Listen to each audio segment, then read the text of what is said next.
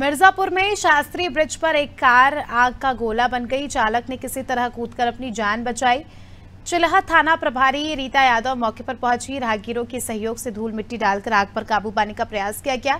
वहीं इस दौरान दोनों तरफ़ वाहनों की लंबी कतार लग गई। करीब एक घंटे तक पुल पर जाम लगा रहा।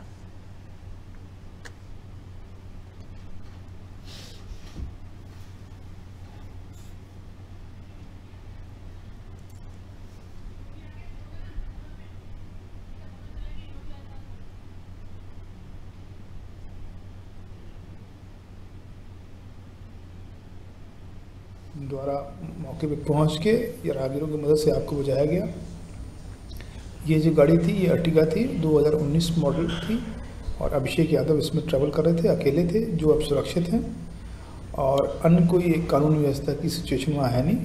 फायर ब्रिगेड ने आग बुझा दी है और शेष यातायात को नॉर्मल किया जा रहा है।